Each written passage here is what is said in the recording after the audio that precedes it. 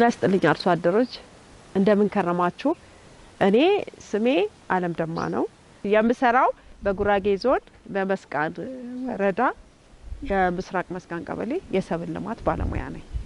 በስራዬ ሁሉንም አርሶ አደሮች ተደራሽ ለማድረግ ሞክራለሁ። ይኸውም በሰብል ልማት በሰብል ልማት ዘርፍ በስንዴ በጤፍ ምርት አመራረት እስከ መጨረሻው ድረስ እንዲሁም ደግሞ በመስኖ ልማት ዘርፍ እያገለገልኩ እገኛለሁ። የምሰጠው አገልግሎት ሁሉንም አርሶ አደሮች በሰብል ልማት ዘርፍ በጤፍ፣ በስንዴ፣ በተለያዩ ሰብሎች ድጋፍ አደርጋለሁ። እንዲሁም ደግሞ በመስኖ ልማት ዘርፍ ድጋፍ እያደረግኩ እገኛለሁ።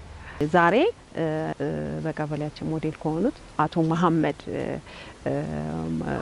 ጋር ቆይታ እናደርጋለን። ይኸው የምናደርገው ቆይታ በስንዴ ምርት አመራረት ላይ ከመጀመሪያው ጀምሮ እስከ መጨረሻው ምን ተጠቅመዋል፣ ምን አግኝተዋል የሚለውን ነገር እንድትከታተሉኝ እጋብዛችኋለሁ።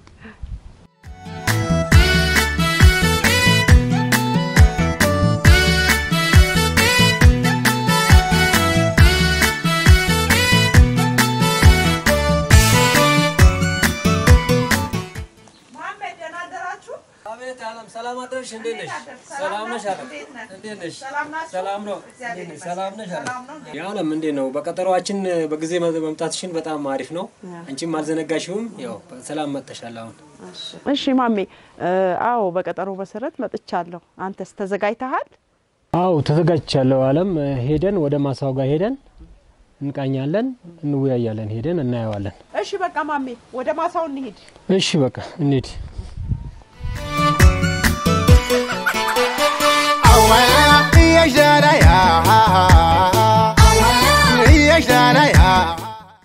እሺ ማሜ ወደ ማሳህ መጥተናል እዚህ እና ስንዴን ለማምረት ከመነሻው ጀምሮ ምንድን ነው የሚያስፈልገን ነገር?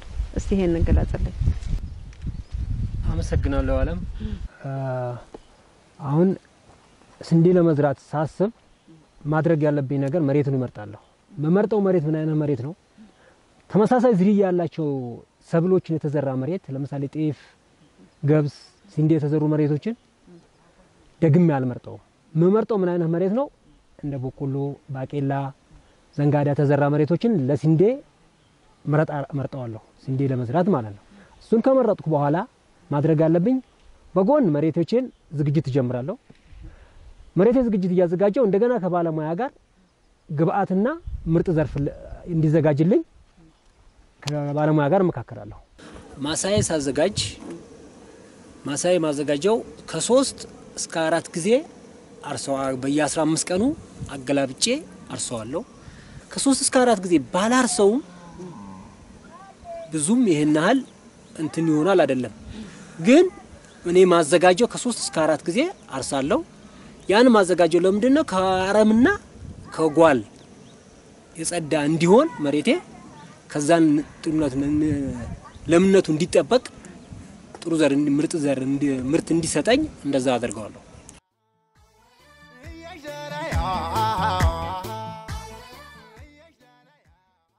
እሺ ማሜ፣ አሁን ስለ ማሳ ዝግጅቱ ነግረኸኛል። እስቲ ስለ ዘር መረጣ በምታደርግበት ጊዜ ምንድን ነው ማድረግ ያለብን? እስቲ ከመጀመሪያው ጀምሮ ያለውን ነገር ንገረኝ። ዘር መረጣና ግብአት በተመለከተ ያው ዘር መረጣ ስናካሄድ እንዴት ነው የምናካሄደው? ከቀበሌው ከተመደበ DA ባለሙያ ጋር ተያይዘን ወደ ምርጥ ዘር የምናገኝበት ወደ ዩኒየን እንሄዳለን። እዛ ከሄድን በኋላ ዓመተ ምሕረቱን መቼ እንደተመረተ ብቅለት መጠኑ ምን ያህል እንደሆነ ያንን አይተን ምርጥ ዘር የተሰባበረ የሌለው ጥሩ ምርት መስጠት የሚችለው መርጠን ከዩኒየን ገዝተን ወደ ቀበሌያችን እንዲገባ እንዲመጣ እናደርጋለን። ከዚህ በተጨማሪ NPS እና ዩሪያ መዳበራን ምርጥ ዘሩ ስንዴን ገዝቼ አምጥቼ በእጄ አስቀምጣለሁ።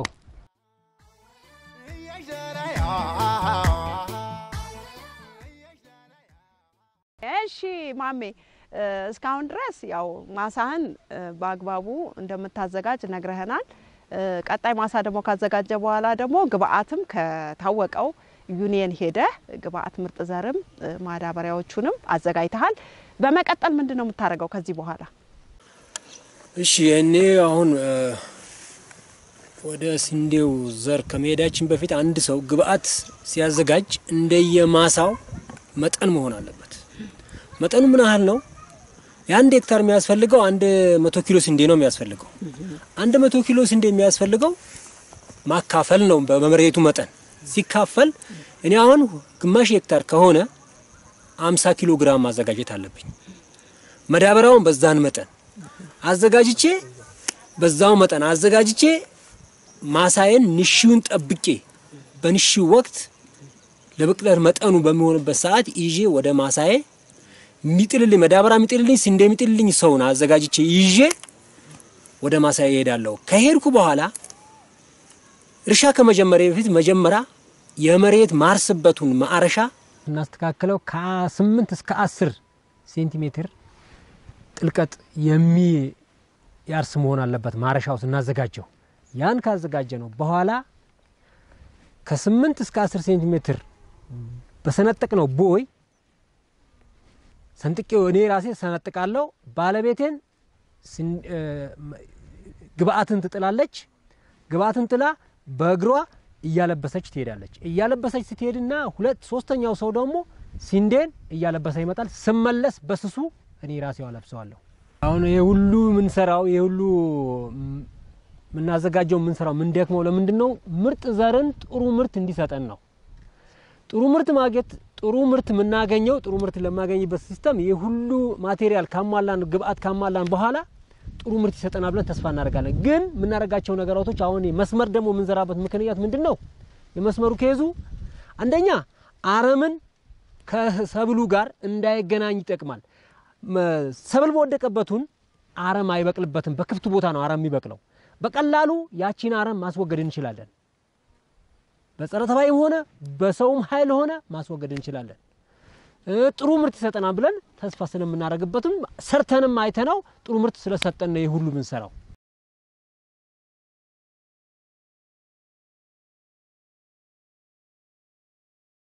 እሺ ሙሄ፣ አሁን እንግዲህ በተባለው መሰረት በመስመር ዘርተሃል። ከዚህ በኋላ ቀጣዩ ስራ ምንድን ነው? እሺ አሁን ዘርተን ከጨረስን በኋላ ሁልጊዜ ክትትል ያስፈልገናል። ሁልጊዜ ክትትሉ ምንድን ነው? እንደ ማንኛውም እንደ ማንኛውም ነጋዴ እንደ ማንኛውም ባለሱቅ እለት ተእለት ሱቁ እንደሚከታተል ሁሉ ገበሬውም እለት ተእለት ማሳው መከታተል አለበት። ሁልጊዜ ሲከታተል ምንድን ነው ክትትሉ የቱ ጋ ነው? የተለያየ በሽታዎች ሊመጡ ይችላሉ። በሽታ የተለያየ በሽታ ሊኖር አረም ሊኖርበት ይችላል። ብዙ ብዙ ነገር ሊመጣበት ይችላል። ያን የሚመጣ ነገር እለት ተእለት በመቆጣጠሩ ያንን ነገር መፍትሄ ወዲያው በአስቸኳይ መፍትሄ መድኃኒትም ሆነ ከባለሙያ ጋር ተመካክሮ ያንን የሚያቆሙበት መፍትሄ መፈለግ አለበት።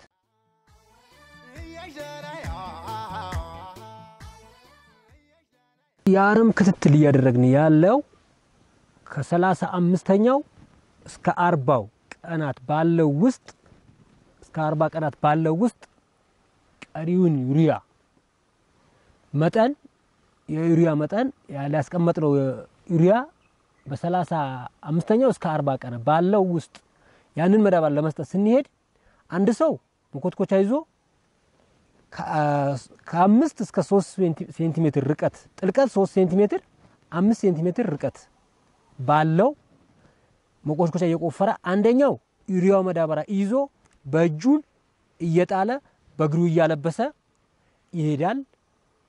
ያን ካጠናቀቅን በኋላ ከዛ በኋላ የአረም ክትትሉ እስከ መጨረሻው ድረስ ይቀጥላል።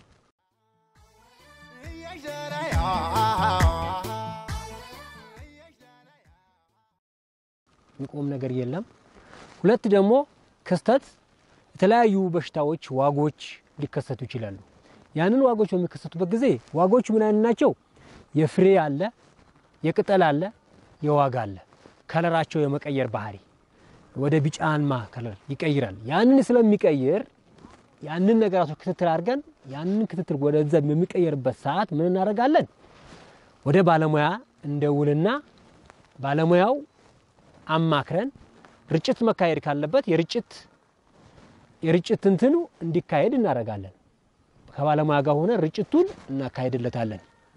የግንድ ሆነ የቅጠል ሆነ የፍሬ ሆነ ያንን ርጭት አካሂደን ክትትላችን እንቀጥላለን። ያንን ክትትል ካደረግን በኋላ ደግሞ እስከ መጨረሻውም ድረስ ስንዴያችን አጭደን እስከምናነሳ ድረስ ድረስ ክትትላችን በዚሁ መልክ ይቀጥላል።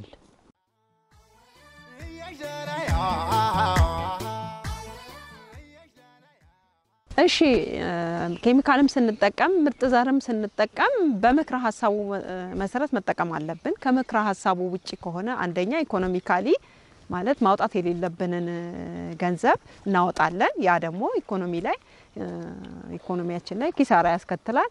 ያ ነገር መሆን የለበትም። በምክረ ሀሳቡ መሰረት መጠቀም አለብን። ሌላ ደግሞ ኬሚካልን በተለይ ስንጠቀም ከምክረ ሀሳቡ በዘለለ ከተጠቀምን ወይም ደግሞ ከዛ በላይ ከምክረ ሀሳቡ በላይ ከተጠቀምን በሰብላችን ላይ ጉዳት ሊያደርስ ይችላል። ቀጥታ ለምሳሌ ከሚመለከተው በላይ ኬሚካል ከተጠቀምን ሰብላችንን ድንገት ሊያቃጥልብን ይችላል። ምርትንም ዜሮ ሊያደርግ ይችላል። ስለዚህ እንደዚ አይነት ነገር መጠቀም የለብንም። በምክረ ሀሳቡ መሰረት መጠቀም አለበት።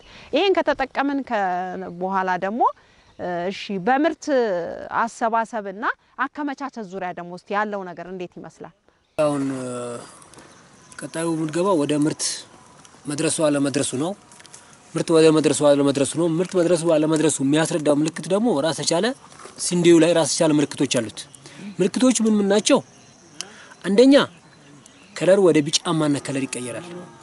የስንዴው ግንዱ ራሱ ማለት ነው። ሁለተኛ ደግሞ ምርት የያዘው ፍሬው እንዲህ ዘንበል ማለት ባህሪ ያለው ጫፉ ወደ ታች ያጎነብሳል። ሶስተኛው ደግሞ በቀላሉ በጥርሳችን አይፈልፈል አድርገን እንዲህ ስንይዘው በቀላሉ የመሰበር ባህሪ ያለው ምልክቶቹ ማለት ነው። ያንን ምልክት ካጠናቀቀ በኋላ የምናደርገው ምንድን ነው? አጨዳ እንገባለን። አጨዳ በምንካሄድበት ጊዜ ከላይም ማጨድ እንችላለን፣ ከስርም ማጭደን ከስር የምናጨድበት ምክንያት ለምንድን ነው? ለከብቶች መኖነት ስለሚያገለግል ገለባው ማለት ነው። ከስር ካጨድን በኋላ በአግባቡ አስረን ላይ በላይ እንከምረዋለን። በአግባቡ ያስቀመጥነው ሰብል ያንን ሰብል ወደ ሰፈር ብንወስድበት ብንወስድበት ሰዓት ጋሪው ላይ ሸራ እናነጥፍበታለን። ሸራው ካነጠፍን በኋላ በሸራው ላይ አርገን ወይም የተዘጋጀ ማቆር ይኖራል፣ ወይም ሸራ ይኖራል፣ ወይም ንጹህ አዲስ አውድማ እናዘጋጅና በአማራጩ በዛ ላይ ወስደን በጋሪ አጓጓዝ ነው። ምርቱ ብክነት እንዳይገጥመን እኮ ነው በጋሪ ላይ ሸራ የምናደርገው። ያን ካረግን በኋላ ወስደን ያንን ባዘጋጀነው ላይ አርገን ውቂያውን እናራምደዋለን፣ እናካሄዳለን። አሁን ቀጣይ ክምችት በተመለከተ ውቂያችን ካጠናቀቅን በኋላ ወደ ክምችት ነው የምንገባው። ክምችቱ ምንድን ነው? በአግባቡ ከወቃን ስንወቃ ምርቱን ገለባው ለከብቶቻችን መኖ ስለሚሆን በአግባቡ እንከምራለን፣ ወይም ያዘጋጀነው ቤት ካለ ወደ ቤት እናስገባለን። ገለባው ምርቱ በምን መልኩ ማስቀመጥ እንዳለብን ለማከማቸት ፒክስ የሚባል ከረጢት አለ። ፒክሱ የሚጠቅሙ ምን ምንድን ነው? ለተለያየ አንደኛ ብክት ምርትን ብክተን ይቀንሳል። ሁለተኛ ደግሞ የሚቀንሳል ሲባል በየት በኩል ነው? የተለያዩ ሚስቶችን ይበሉ የሚበሏቸው የነበረው እንዳይበሏቸው አገልግሎት ይሰጣል። ሁለት ደግሞ በፈለግንበት ሰዓት ስንሸጠው ጥሩ ገበያ ያስገኝልናል። ሶስተኛ ደግሞ በምናስቀምጥበት ሰዓት ደግሞ ከመሬት ከመሬት 50 ሴንቲሜትር ከፍታ ከግድግዳ 50 ሴንቲሜትር ርቀት በተደረደረ እንጨት ላይ አርገን ወረቀቶቹን ካስገባን በኋላ ሶስታቸውም ለየብቻ አስረን አፉ ማለት ነው። ሶስታቸውም ለየብቻ አስረን በዛን ባስርኩት ወረቀት በመሬት በዛ በተደረደረው እንጨት ከጎን 50 ሴንቲሜትር ከመሬት 50 ሴንቲሜትር ከፍታ ባለው እንጨት ተደርድሮ አስገብተን ዘር ማከማቻ ቤታችን ላይ እናስቀምጣለን። እኔ ደግሞ ማስቀምጠው ሁልጊዜ በዚህ መልክ ነው። ከሶስት እስከ አራት ዓመት በፊት ነው እንደዚህ መሰራት የተጀመረው።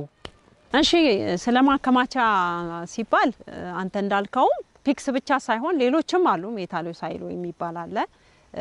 እንደዚ አይነት መጠቀምም ይቻላል። ግን አሁን PICS ባልከው ላይ PICS ከረጢቱን ስንገዛ መጀመሪያ ከምንገዛበት ቦታ ላይ በትክክል ውስጡ ላይ ያሉ ሁለት ወረ ላስቲኮች ማለት ነው ቀዳዳ ያለመኖሩ መጀመሪያ check አድርገን መግዛት አለብን። ያን የምናደርገው ለምንድን ነው? ቀዳዳ ካለው አየር ካለ በቀላሉ አየር አግኝተው ነቀዝ እንትን ሊል ስለሚችል ያን ነገር መጀመሪያ ያቺን ነገር አረጋግጠን አይተን check አድርገን መግዛት እንዳለብን ነው።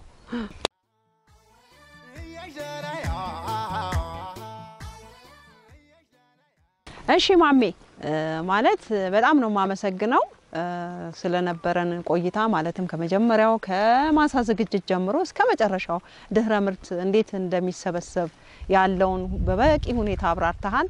አንተ እንደ እንደ ቀበሌያችን ሞዴል ነህ። ለሌሎችም በጣም ብዙ ነገር ካንተ ይማራሉ፣ እኔም እንደማቀው። ስለዚህ ስለነበረን ቆይታ በጣም ነው የማመሰግነው። ቀጣይ ሌሎች አርሶ አደሮች አሉ ድጋፍ የማደርግላቸው ወደ እነሱ ይሄዳለሁ።